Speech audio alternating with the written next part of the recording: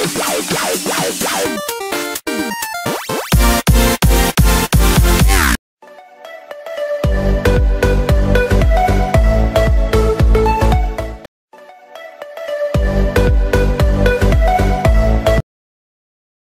a telescope and identify its parts.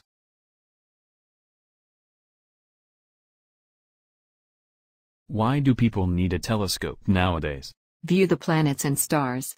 See distant objects. Study the universe. Capture images of space. Explore skies from Earth. Improve vision and patience. Know the solar system. Understand the movements of celestial bodies. Why do people need a telescope nowadays?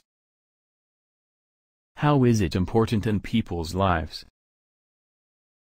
Listen to the teacher's lecture and complete the following activities. Do you know what we can use to see what is in outer space? Telescope.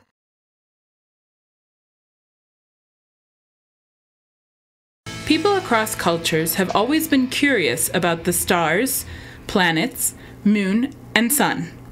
This interest has led many inventors, scientists, or even common people to build something that would help see what is beyond the clouds. The telescope as we know it has passed through massive transformation since it was first patented in 1608. Galileo constructed his own telescope and used it to see the moon and its craters as well as the Milky Way. He was the first to see the rings of Saturn and some of Jupiter's moons. Another famous scientist who made other significant contributions to the development of the telescope was Johannes Kepler.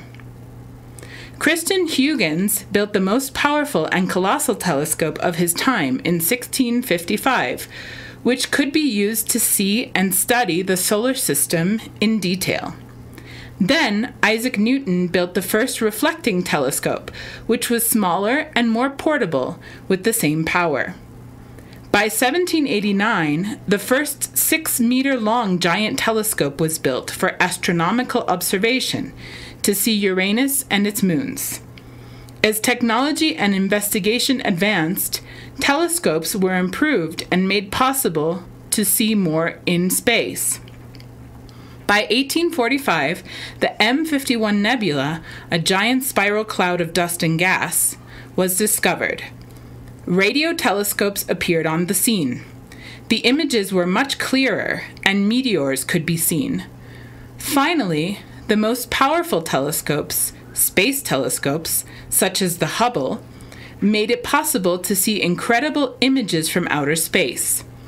Hubble is going to be replaced soon by the James Webb Space Telescope.